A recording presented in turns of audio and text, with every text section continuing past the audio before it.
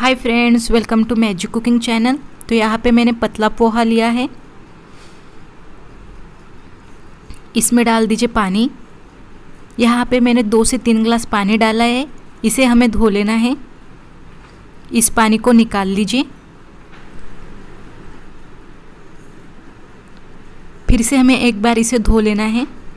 अगर आपको पोहा मुलायम बनाना है तो पोहा को दो बार धोना ज़रूरी है। इसे इस पानी को निकाल लीजिए।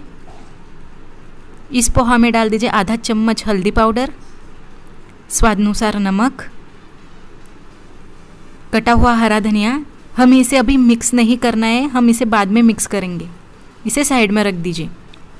गैस पर रख दीजिए कढ़ाई। कढ़ाई में डाले दो चम्मच तेल।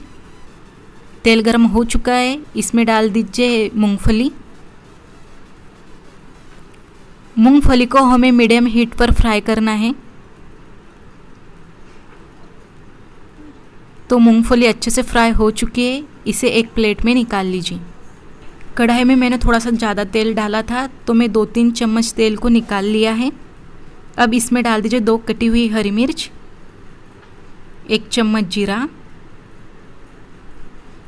एक चम्मच राई कड़ी पत्ता कटा हुआ लहसुन, कटा हुआ लहसुन ऑप्शनल है, आप चाहे तो डाल सकते हो या फिर स्किप करें। इसे अच्छी तरह से मिला लीजिए। मिर्च अच्छे से फ्राई हो चुकी है। कटा हुआ प्याज। हमें इस प्याज को छः से सात मिनट तक मीडियम हीट पर पकाना है। तो प्याज अच्छे से पक चुका है। इसमें डाल दीजिए भिगोया हुआ पोहा। दोस्तों, मेरा इंस्टाग्राम पेज भी वहाँ जाके भी आप मुझे फॉलो कर सकते हो। मेरी आईडी है मैजिक मीनाक्षी पोहा को अच्छी तरह से मिला लीजिए।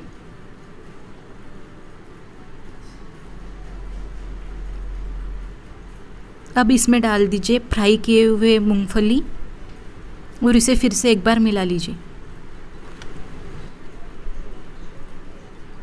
तो पोहा को मैंने अच्छी तरह से मिला लिया है। इसे हमें ढक्कन रखकर छः से सात मिनट तक लो हीट पर पकाना है। सात मिनट बाद ढक्कन को निकाल लीजिए और उसे एक बार मिक्स करें। तो सॉफ्ट मुलायम पोहा तैयार है। इसे गर्मा गर्म सर्व करें। दोस्तों, अगर आपको वीडियो पसंद आया होगा तो वीडियो को लाइक करें, शेयर करें और चैनल को सब्सक्राइब करें। Thank you for watching this video